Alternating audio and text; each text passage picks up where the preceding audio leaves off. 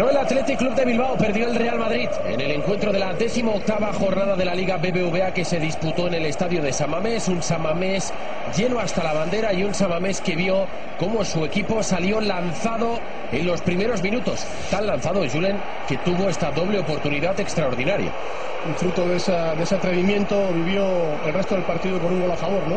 Salió, como tú bien comentas, en tromba, teniendo una ocasión clarísima, en este caso doble en la que Toquero eh, falla prácticamente a puerta vacía el rechace del disparo anterior que pega el palo de Gurpegui.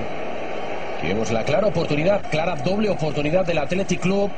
A raíz de esa jugada forzó un córner el equipo de Caparrós y a la salida de ese córner Marcó Fernando Llorente, el que a la postre sería el único gol del partido. Asiste a Fernando Llorente, evidentemente de manera involuntaria, el francés Las Diarra. Sí, vimos claramente con el intento de despeje lo que hace es peinar la pelota para prolongarla y que Llorente que llega solo y, no está referenciado no tenga más que empujar la pelota al fondo de las mallas. Era el minuto 3, es el sexto gol de Fernando Llorente esta temporada en la Liga BBVA. A raíz del gol del Athletic se estiró y buscó con ahínco el gol el Real Madrid.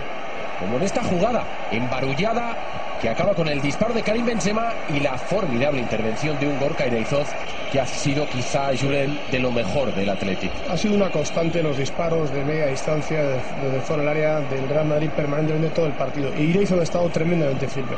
De nuevo lo intentó Karim Benzema. En esta ocasión la pelota tocó ligeramente en Fernando Morevieta y obligó a estirarse al guardameta vasco del Atlético. Más oportunidades del Real Madrid en la primera mitad. Está clara de Cristiano, aquí no hay falta. Y fíjense qué bien saca la pelota Gorka. No hay falta porque estaba Cristiano en el suelo, se tropieza en este caso Gorka con él, pero a, pesar del tropiezo reacciona de una manera sensacional, ¿eh? sacando ese balón.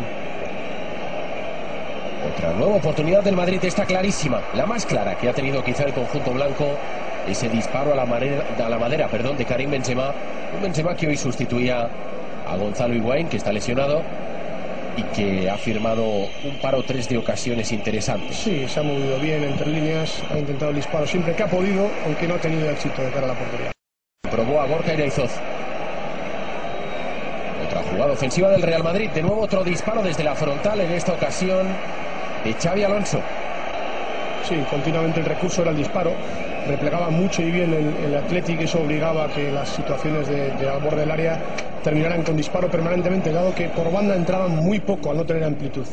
Se Catedral llena más de 39.000 personas y otra gran ocasión del Madrid. En esta ocasión, la asociación perfecta entre Benzema y Cristiano Ronaldo pudo despejar Gorka y Deizoz. Lanzamiento de falta de Guti, ya estaba el segundo capitán del Real Madrid sobre el campo, raso por debajo de la barrera, de nuevo Gorka. Sí, muy firme, sobre todo al no dar opción de rechazo en ese disparo de Guti. Más llegadas del Real Madrid que dominó el encuentro a raíz del gol de Llorente. Han sido 87 minutos para el conjunto blanco. Otro disparo lejano, otro disparo desde la larga distancia de Kaká. Otra parada de Gorka Ireizoz. Sí, buena parada y sobre todo la reacción posterior es muy rápida, ¿no? No dando opción al rechazo del jugador del Madrid. Vemos cómo se lanzaba rapidísimamente Gorka. La combinación de Benzema con Cristiano. El centro del portugués. Y fíjense lo que falla Kaká. Sí, una acción clarísima.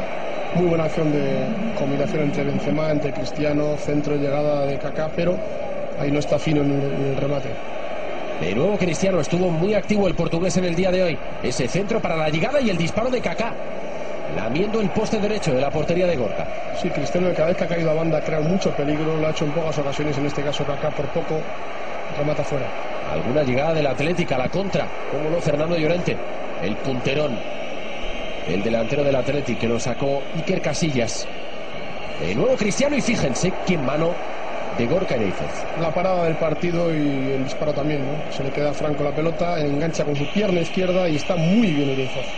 Ya en el tramo final, con el Real Madrid completamente volcado al ataque, esta iba a ser la penúltima jugada del partido.